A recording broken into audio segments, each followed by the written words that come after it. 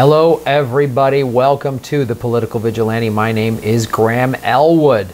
So, uh, George Herbert Walker Bush recently passed away, and he was, I believe, the 42nd president. Um, and there was a great article in The Intercept, and I just the ignored leg legacy of H.W. Bush, war crimes, racism, and obstruction of justice. yes, he helped obstruct justice in the Iran Contra thing. Um, he ran a racist campaign, the Willie Horton campaign, and when he ran for president in 1988, was so racist. Willie Horton was a black man that got out on furlough and, you know, raped a white woman and just, hey, white America, Dukakis, and it happened, I believe, in Massachusetts where Dukakis was governor. And it was like, hey, white America, Dukakis is just letting scary black men out on the streets. It was so offensive and so racist. George H.W. Bush did that. So what we're all talking about how great he is. And, you know, any president, uh, when they die, they need a big, they need, they should have big ceremonies and stuff like that. But we should, you know, he wasn't a private guy. I was like, don't trample on a man's grave, you know, when somebody passes away. Well, he wasn't just somebody, he was president of the United States. And when Jimmy Carter passes away, we should have the same um, fair reflection on his presidency and what he did. He didn't do this kind of evil shit, that's for sure. um, but I just can't listen to all of this stuff. He loved America and served with character, class, and integrity. Uh, tweeted former U.S. Attorney and hashtag resistance icon Preet Bharara.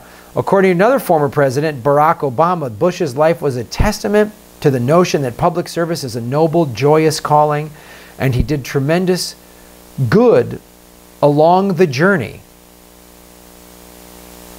It's a big club and you ain't in it, right? Isn't that what George Carlin always said? Apple boss Tim Cook said, We have lost a great American. All right, you want to talk about how he served in World War II as a fighter pilot? All right, absolutely, absolutely. That was noble what he did. That's I can't I can't begin to know what that must have been like putting your life on the line as a pilot in World War II. Good for him. But he ran the CIA. so let's let's be let's not all whitewash when everything was so great. I say talk about it all. When I die, I hope a bunch of friends of mine, first of all, I want my ashes scattered at the beach near me where I surf with Putin every day. And I want my friends to just have a nice um, you know, get together like an Irish wake without the, the drinking and the fighting, but like tell stories about me. Tell stuff that I did that pissed you off. tell the good stuff too. But I was never, and I never will be president. This was a president. So when, when president's decisions that president makes affects a lot of people and sometimes for decades to come. So we can't just say, oh, he was so great, and let's all, you know, raise a glass and honor this fantastic American, because not everything he did was great. Um, and this is what they said. He was a public, uh, not a private figure. Only one of 44 men to have ever served as President of the United States. We cannot, therefore, allow this his actual record in office to be beautified in such a brazen way. When a political leader dies, it is irresponsible in the extreme to demand that only praise be permitted but not criticism, as my co colleague Glenn, Glenn Greenwald argued, because it leads to false history and a propagandic whitewashing of bad acts. Yeah, sorry. This show's about the truth, man. I just want to get to the truth. And I you know, to be fair, yeah, he was a World War II vet. Good for him. And then he did Willie Horton. And then he obstructed justice as vice president during the Iran Contra hearings when he was VP to Reagan. Sorry. Sorry. That was awful and fucked up. Um, Bush told the American public that Iraq had invaded Kuwait, the first Gulf War, without provocation or warning. What he omitted to mention was that the U.S. ambassador to Iraq April Glaspie had given an effective green light to Saddam Hussein, telling him in July 1990, a week before his invasion, We have no opinion on the Arab Arab conflict, like your border disagreement with Kuwait. Wow. Have anybody else named Bush lied to the American people to get us into a war in Iraq? I can't remember. Um, then there is the fabrication of intelligence. Bush deployed U.S. troops to the Gulf in August 1990 and claimed that he was doing so in order to assist the Saudi Arabian government in the defense of his homeland. As Scott Peterson wrote in the Christian Science Monitor in 2002, citing top secret satellite images, Pentagon officials estimated that up to 250,000 Iraqi troops and 1,500 tanks stood on the border threatening the key U.S. oil supplier. I remember that. I remember hearing that in the news. Yet when reporter Jean Heller of the St. Petersburg Times acquired her own commercial satellite images of the Saudi border, she found no signs of Iraqi forces, only an empty desert. It was a pretty serious fib, Heller told Peterson, adding that Iraqi buildup was the whole justification for Bush sending troops in there, and it just didn't exist. Thanks, Obama, for letting us know he was a fine American. Sorry, I just can't handle the lies and the hypocrisy. It just makes my stomach turn. I can't fake smile. Yay, me too. I can't listen to people on the left tell me how great the Bushes were. Ugh. I can't hear it. I can't hear. It's bullshit and it's wrong. It's wrong.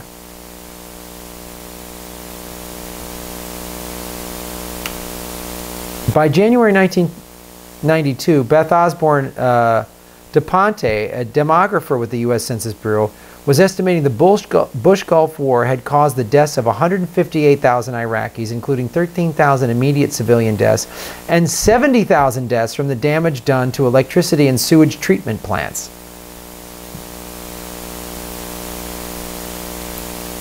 Daponte's numbers contradicted the Bush administration, and she was threatened by her superiors with dismissal for releasing false, false information. Sound familiar? Yeah, Scooter Libby, Remember that? Remember those clowns? Wow. And then all this crap of like, he was, you know, classy and presidential, which are all digs at Trump. Yeah, Trump is a fucking jackass. He's offensive and vulgar. But do you think these 70,000 civilian deaths? 70,000 civilian deaths. We lost 58,000 soldiers in Vietnam. 70,000 civilian deaths. Do you think they give a shit about Trump's tweets or, or HW's uh, being presidential? Thinking of the people who's, who've lost loved ones from Obama's drone strikes give a shit? about how classy and presidential he is? I've always said it. Trump is just the most vulgar version of what presidents have been doing for a long time.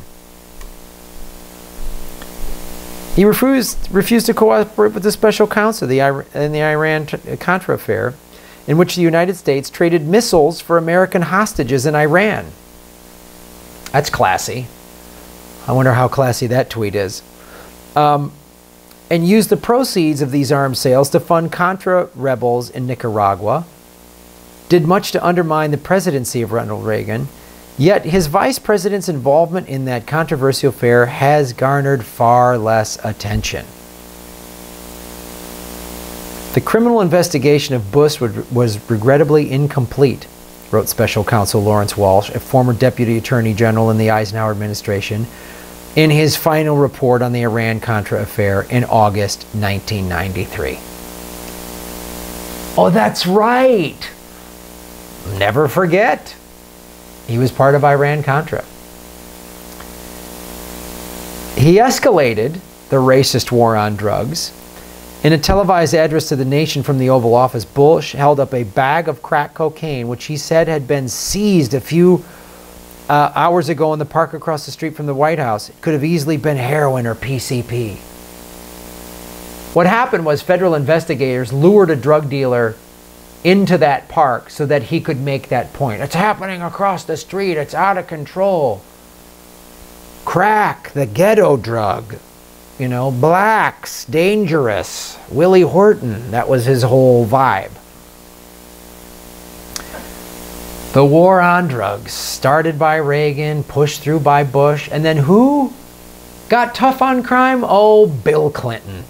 Our liberal hero, Bill Clinton. Put a bunch of black men behind bars, just like Bush and just like Reagan. Once again, it's a big fucking club. You're not in it, I'm not in it. Here's something I didn't know. He groped women. Since the start of the Me Too movement in the late 2017, at least eight different women have come forward with claims that the former president groped them, in most cases while they were posing for photos with him. One of them, Roslyn Corrigan, told Time magazine that Bush had touched her inappropriately in 2003 when she was just 16. I was a child, she said.